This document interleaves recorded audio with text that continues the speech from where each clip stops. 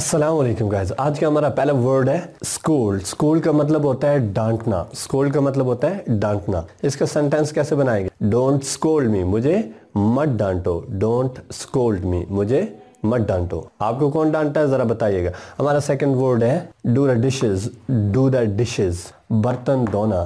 बर्तन धोना।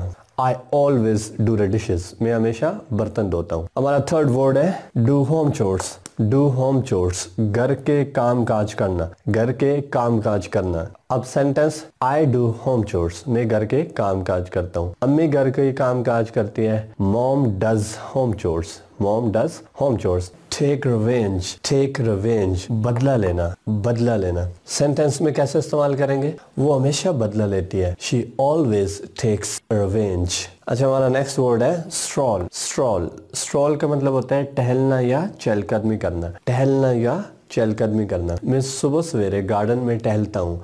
I stroll in the garden early in the morning मुझे टहलना बेनतहा पसंद है। आई लव स्ट्रॉलिंग हमारा थर्ड वर्ड है क्रैम क्रैम क्रैम का मतलब होता है रट्टा लगाना रट्टा लगाना। डोंट क्रैम रट्टा मत लगाओ। डोंट क्रैम रट्टा मत लगाओ। Students always cram their lesson students हमेशा अपने सबक को रट्टा लगा। खून खून इसका मतलब होता है गुनगुनाना। क्या मतलब होता है? गुनगुनाना। गुनगुनाना यानी कि हल्की आवाज़ में गाना, धीमी आवाज़ में गाना। She always groans in the kitchen while cooking वो हमेशा कुकिंग करते हुए किचन में गुनगुनाती है। Right right. इसका मतलब होता है तड़पना तड़पना। तड़पना समझते हैं ना? जिस तरह हम दर्द की वजह से तड़पते हैं, जिस तरह मैं कहता हूँ sentence I had headache last night and I was writhing in pain रात को मेरे सर में दर्द था और मैं दर्द की वजह से तड़प रहा था। हमारा नेक्स्ट वर्ड है विस्पर विस्पर इसका मतलब होता है सरगोशी करना, कान में सरगोशी करना। She whispered in my ear उसने मेरे कान में सरगोशी की। Show off show off show off का मतलब होता है दिखावा करना। क्या मतलब होता है दिखावा करना? अब मिसाल के तौर पर मैं कहता हूँ she loves to show off her new car वो अपनी नई कार का दिखावा करना बेानतहा पसंद करती है। बैक बाइट बैक बाइट का मतलब होता है गीबत करना। क्या मतलब होता है? गीबत करना। किसी के पीठ पीछे बात करना। डोंट बैक बाइट गीबत मत करो। प्रिटेंड प्रिटेंड मक्कर करना। प्रिटेंड मक्कर करना। मक्कर करना समझते हैं ना? जो सर आप बचपन में मक्कर करते थे, अम्मी मेरे आज पेट में दर्द है, मैं स्कूल नहीं जा रहा। तो बीमार होने का मक्कर करते थे हम।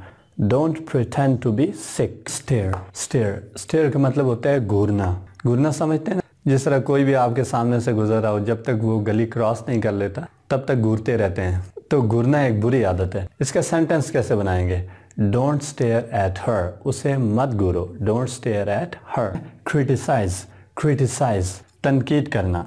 तनकीद करना। माई बॉस क्रिटिसाइज मी मेरे बॉस ने मुझ पर तनकीद की।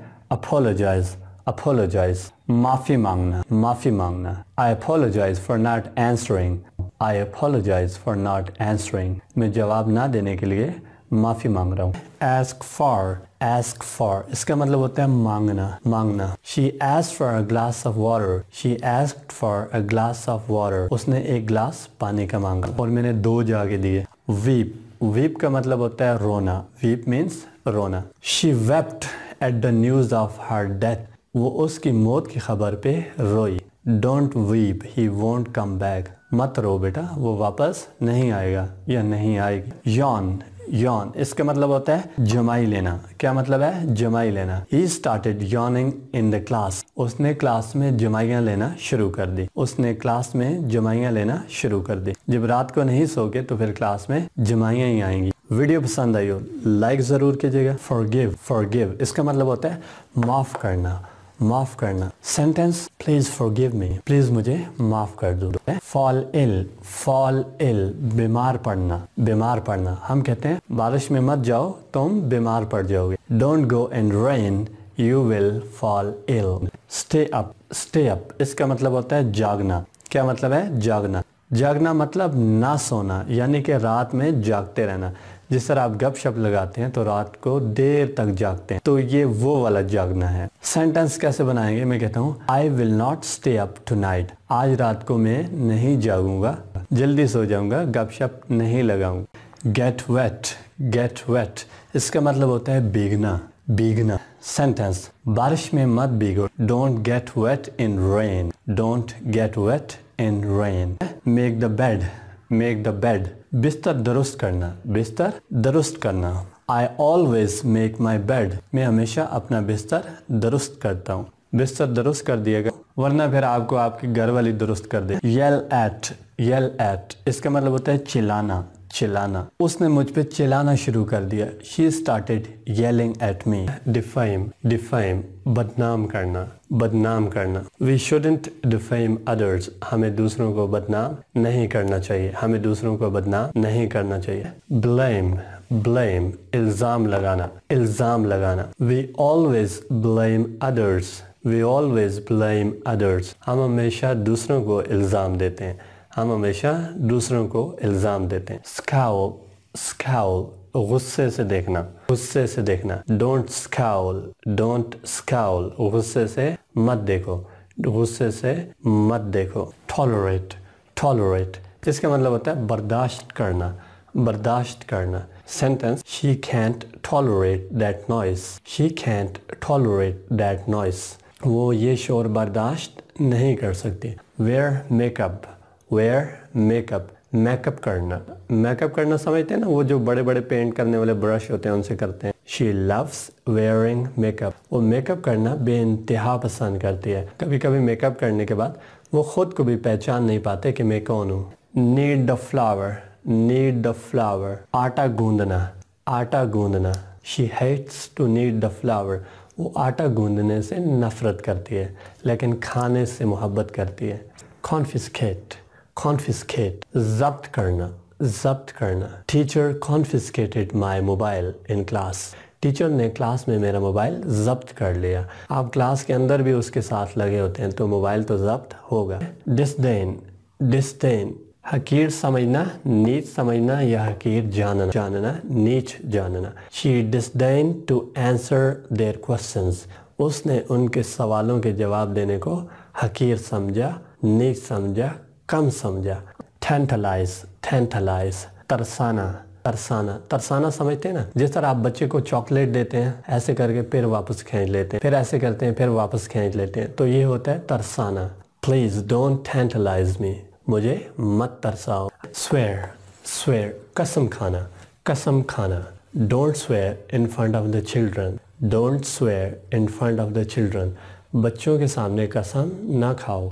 गिगल गिगल अहमकाना तौर पर हंसना या खी खी करना अहमकाना तौर पर हंसना या खी खी करना स्टॉप गिगलिंग स्टॉप गिगलिंग खी खी मत करो सिफ्ट सिफ्ट छानना छानना छानना समझते ना जिस तरह आप आटे को छानते हैं she will sift the flour she will sift the flour वो आटे को छानेगी आटे को तो छानेगी साथ में तुम्हें भी छानेगी eat one's words eat one's words गलती का एतराफ़ करना। गलती का एतराफ़ करना। I should eat my words मुझे अपनी गलती का एतराफ़ करना चाहिए। You should eat your words तुम्हें अपनी गलती का एतराफ़ करना चाहिए। अपनी गलती का एतराफ़ करना चाहिए। नहीं तो फिर बर्तन टूटेंगे। गो एस्ट्रॉय गो एस्ट्रॉय गुमराह होना। गुमराह होना। Don't join bad people you will go astray बुरे लोगों को मत ज्वाइन करो। तुम गुमराह हो जाओगे। लीड एस्ट्रॉय लीड एस्ट्रॉय गुमराह करना गुमराह करना he will lead you astray वो तुम्हें गुमराह कर देगा। ज़रा बच के रहना। कम्पीट कम्पीट मुकाबला करना मुकाबला करना। I can't compete with her मैं उससे मुकाबला नहीं कर सकता। वो बड़ी ख़तरनाक है। नेक्स्ट कॉम्पनसेट कॉम्पनसेट तलाफ़ी करना या नुकसान बढ़ना तलाफ़ी करना या नुकसान बढ़ना don't cry I will compensate रो मत मैं नुकसान भरूँगा। नेक्स्ट चेस चेस पीछा करना या ताकब करना। Spends his time chasing the girls वो अपना टाइम लड़कियों का पीछा करने में गुजारता है। मतलब वो ये चेक करता है कि वो रहती कहाँ पे है। इलोप इलोप इसका मतलब है भाग कर शादी करना या खुफिया शादी की नीयत से फरार होना। भाग कर शादी करना या खुफिया शादी की नीयत से फरार होना। They eloped in the middle of the night. वो आधी रात को खुफिया शादी की नीयत से फरार हो गए। अच्छा ये बड़ी सस्ती शादी है। डिमोरलाइज डिमोरलाइज किसी शख्स की हौसला शिकनी करना।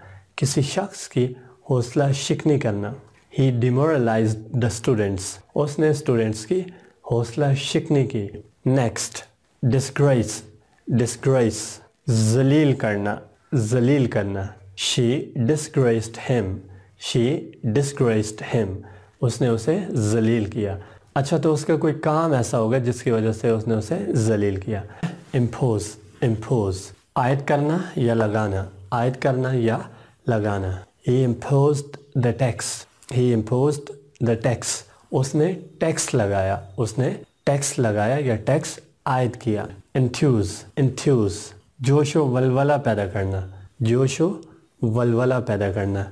He failed to enthuse the audience he failed to enthuse the audience वो ऑडियंस में जोश वलवला पैदा करने में नाकाम हो गया।